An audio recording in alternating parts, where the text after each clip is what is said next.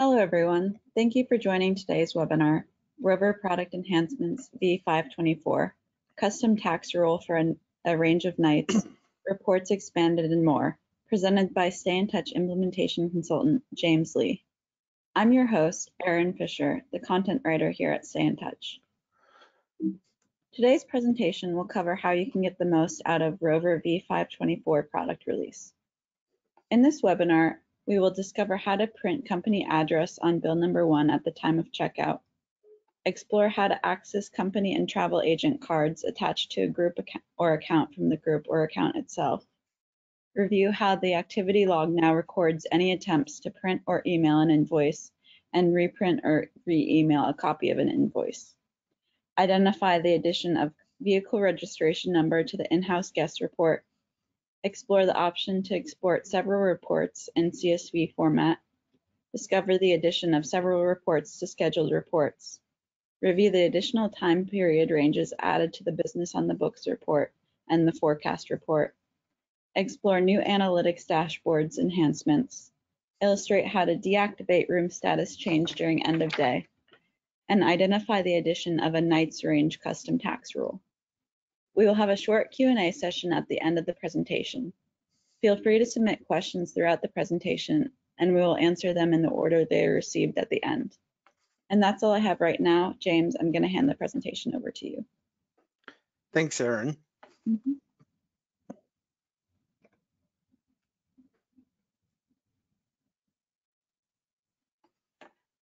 All right. Hello, everyone, and thank you for joining and taking time out to, for the uh, version 5.24 rollout webinar. Uh, some of the new enhancements that we are going to uh, discuss. I'm going to actually log in here to my training environment. We're to the James Hotel, New York City. so the first feature we'd like to cover is the ability to print a company address on a folio. Now, if I take a look at Brian Hill's reservation here, and I can see that he's with Amazon. If I go into bill and charges here, there's now a new checkbox here that says use company address. Now, if I look at Brian Hill's address here, it does show that he lives in San Diego, California. However, with this box checked, when I print out his invoice, it is going to show the address of the Amazon offices. Now, Brian Hill is still registered on the room. His, his name is just moved over here to the right, but the address is showing the office for Amazon. The next feature we would like to discuss is the ability to attach a company or travel agency card to a group.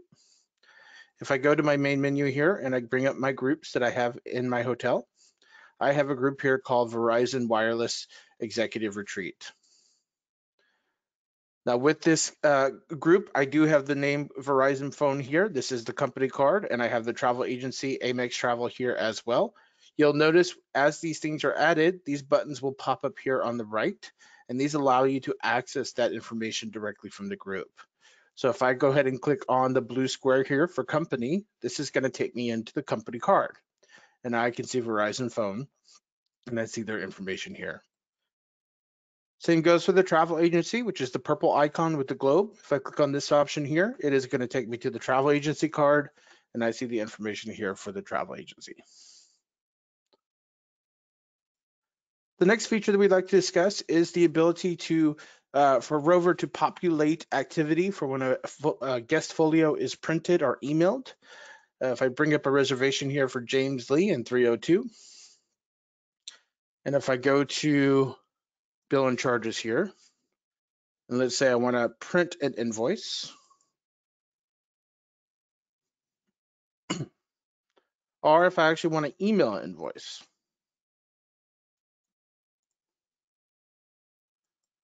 And now when I go back to the stay card and I take a look at our activity log,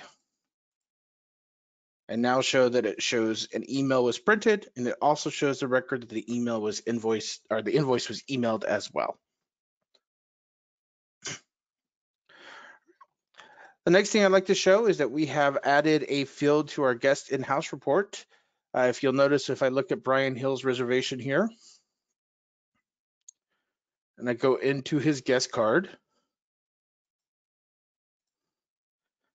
And I see that he has a vehicle registration number, HKM 5415.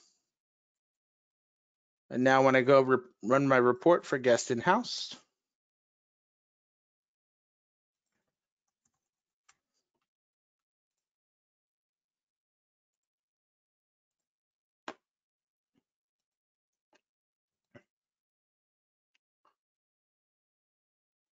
I see on his uh, reservation here, it does show the vehicle registration number on the guest in-house report. Now you can also run a filter to where we'll only show you guests that have an actual vehicle registration on the reservation. So if I go into my guest in-house report, I now have an option here to do has vehicle registration number. By checking this option, it's only going to show you the guests that are in-house that currently have a vehicle registration number on their record. So now if I look at this, I only see Brian Hill's name on there.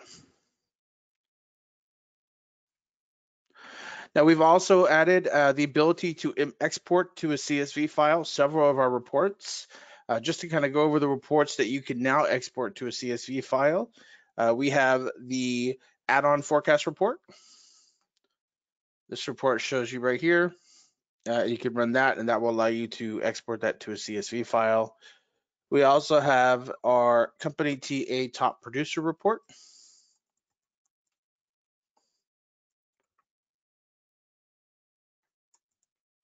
Uh, company TA top producer report. This will also up, upgrade to a CSV file. We also do our forecast guest and groups report, our market segment statistics report, and our occupancy revenue summary report. All those reports now you have the ability to export to a CSV file. In addition to that, we've also added several reports to our ability to schedule them. So if I go into my report scheduler here, uh, some of the new reports that we have here are going to be the reservation by user report. You can have that scheduled to be emailed to you as well as the room status report. So if you're a housekeeping manager, uh, you want to be able to have the uh, room status report emailed to you on a daily basis, uh, you can use that report here as well. In addition to that, we've added some new date ranges for some existing reports that you can have scheduled. Uh, if you look at the business on the books report and I look at my time periods here, if I go all the way to the bottom, we've added four new options here. We have our current month, current plus one month, current plus two months, and then current plus three months. Now these formats have also been added to the um, forecast report as well. Uh, so if I look at my forecast report, now I have a time range here, you see those four options down here at the bottom as well. For the next option, I'm going to actually log into our live environment to our demo hotel, which is going to be the Wexford Bay here.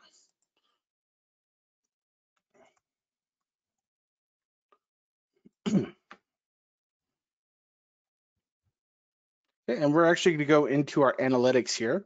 Now, we've added a couple of ways to add filters and to save filters to certain analytics dashboards. Uh, for example, distribution is one of them. If I click on distribution here, this will show me my analytics for uh, different occupancy. Uh, but if I go to my filter option here, and let's say I want to look at a specific market, I can actually click on my market here and say I want to look at transient and I want to look at retail. Let's say I also want to look at rack. And then I can add a filter set here and name this filter. And save it. and then I can go and apply the filter. And this will show me my analytics by those certain market segments. And now if I get out of here and I come back to it, so say if I go back to my dashboard here, and I go back in my analytics and I go to distribution again, when I hit filter, that filter I added is already applied here. It's saved for me. All I got to do is click on it and those filters will populate and I can apply the filters. now this is also um, put in place for the PACE report as well. Uh, you can do uh, different filters there and save them the same way. All right, next I'm gonna go back over to the James Hotel here. Now, we have recently rolled out the ability to disable the room status update during end of day for your in-house guests. Uh, so under hotel and staff and settings and parameters, uh, there is a toggle switch in here now for deactivate housekeeping room change. What this does is your stayovers that are currently in-house, when you run your night audit, instead of turning dirty, they will remain clean. Uh, so that way they never turn dirty uh, in your system. With um, everything going on with COVID-19 right now, we understand there are a lot of hotels out there that have halted uh, in-room uh, housekeeping service for guests that are still in-house. Uh, this is a function that would be good for you. That way it doesn't update anything dirty that is currently a stayover. Now, when the guest checks out, the room will still update to a dirty status. this only impacts your guests that are currently in-house, but by deactivating it, uh, when you run your night audit, those rooms will stay clean. Uh, they will not turn to a dirty status. And just as a reminder, if you wanted to disable your stayover service altogether, you can go into your task management here and just uh, disable your stayover under task list. All right, the next thing we want to talk about is our custom tax rule for nights range. Uh, if I go into financials here, and I go into my charge codes and look at my taxes,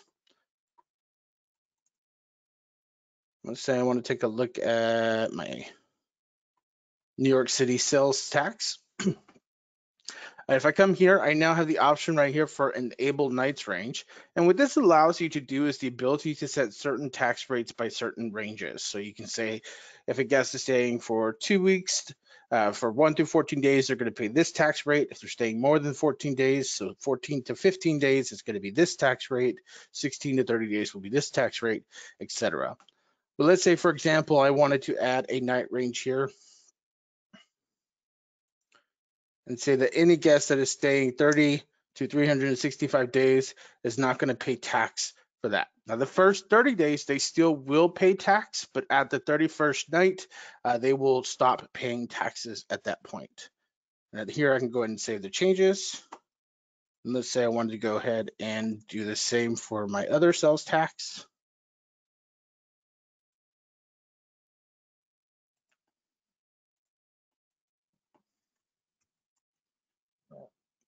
and save that. Now I do have a reservation here under the name of Matt Rose that we could take a look at. And he is staying more than 30 nights. And if I go into his invoice and run a pro forma invoice, uh, pro forma invoice, just as a reminder, is a folio that's going to give you anticipated charges for a guest. Uh, so it's going to show their folio what they should look, look like at checkout, barring no other incidental charges.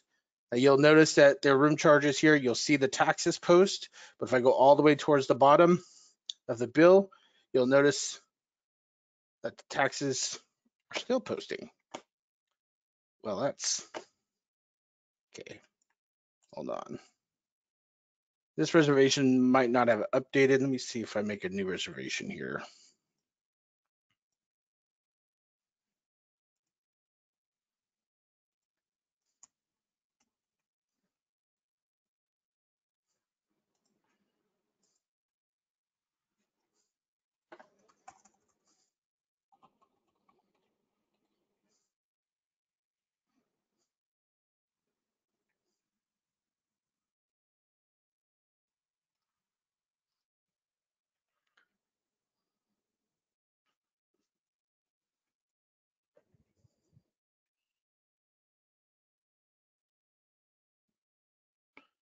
All right, let's test this one out here.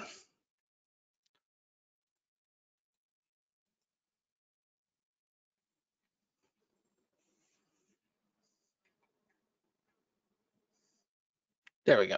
So if I go towards the bottom of the uh, pro forma invoice here, I see the room charges with all the taxes, but at the very bottom, the taxes stop posting after the 30th day. And now I just see the room charge and the facility fee post. And that will conclude, conclude our enhancements for uh, our new version. I'm going to turn it back over to you, Erin. Thank you, James, for that insightful presentation. I'd now like to turn over the floor for questions. Remember, you can submit questions through the question box in the middle of the control panel. So I'll give everyone a few seconds to enter those. All right, uh, so the first question is, how can a company be removed from a group after it has been added? Oh, for that, you can actually, if I just go into groups and go to manage groups. Now, normally when you would access a company card from a reservation, there's a big detached card that lets you do that. Uh, if you'll notice that detached card is not here, but all you really got to do is just remove it from this area here. So if I, oops, take that out. You'll notice the company card. That's going to give you a warning that you're removing that. You can go and detach it. And then you'll notice the icon does disappear. Same with the travel agency. If I just delete the travel agency, that button will disappear. Great. Um, and then the next question is, I'm looking at a reservation in my hotel and I'm not seeing a field for vehicle registration number. Why is this? So the vehicle registration field does need to be populated, uh, sorry, need to be activated. Uh, you can actually do this in settings. Uh, so if I go to my settings here, and if I go into cards, I have my option here for guest card fields. And here's when I can activate that field. I think by default it's turned off. So if you do want to access the vehicle registration number on a reservation, uh, you would need to come here in settings and just activate it here with this little toggle switch. Great. And it looks like there aren't any more questions. I'll just give everyone a few more seconds to enter any last questions. All right, since there are no mo- more questions, um, I would like to take to the floor to offer some final thoughts. So today we discovered how to print a company address on bill number one at the time of checkout, explored how to access company and travel agent cards attached to a group or account from the group or account itself, reviewed how the activity log now records any attempts to print or email an invoice and reprint or re-email a copy of an invoice identified the addition of the vehicle registration number to the in-house guest report, explored the option to export several reports in CSV format, discovered the addition of several reports to scheduled reports, reviewed the additional time period ranges added to the business on the books report and the forecast report, explored new dashboards enhancements, illustrated how to deactivate room status change during end of day, and identified the addition of a Nights Range custom tax rule. With that, I'd like to conclude our presentation. Thank you all for coming, and if you have any additional questions, feel free to email me at erin.fisher@stayntouch.com. Thanks again.